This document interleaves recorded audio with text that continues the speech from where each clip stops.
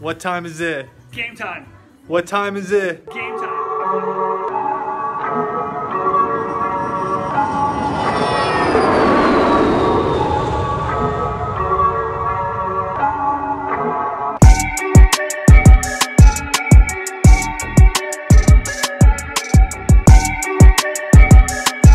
What's up guys? Brandon Burbank here, better known as Birdman Burbank, and today I wanted to talk to you guys about what it means to be developing your personal brand in the sales industry.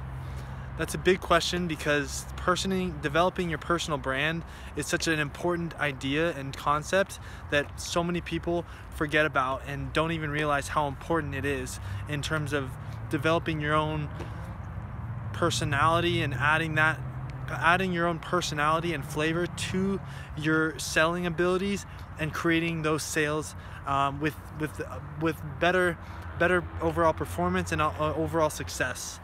Um, and for me personally I started the YouTube channel for Birdman Burbank this YouTube channel which definitely uh, encourage you guys to like and subscribe because there's a tons of good content that I'm going to be posting.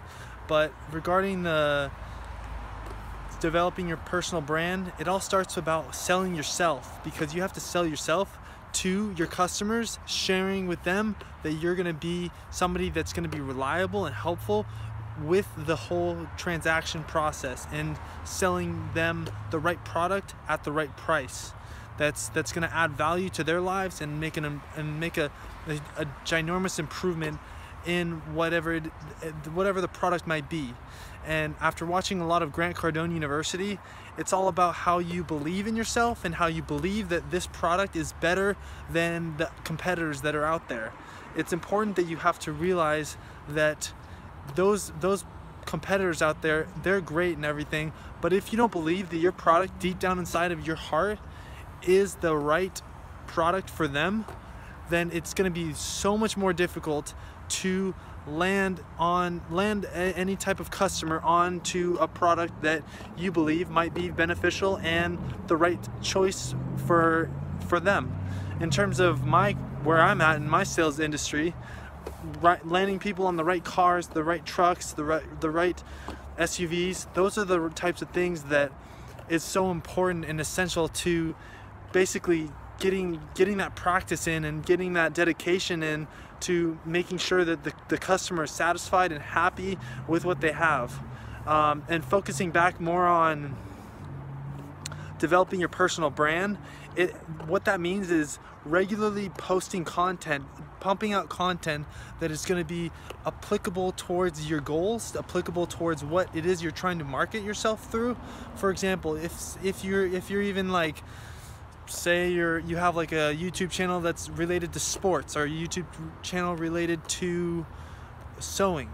You have to be able to give the customers tons of ideas tons of information tons of experience and actual feedback on how they're basically growing and how they're improving themselves and getting to where they want to be with their overall goals for that YouTube channel.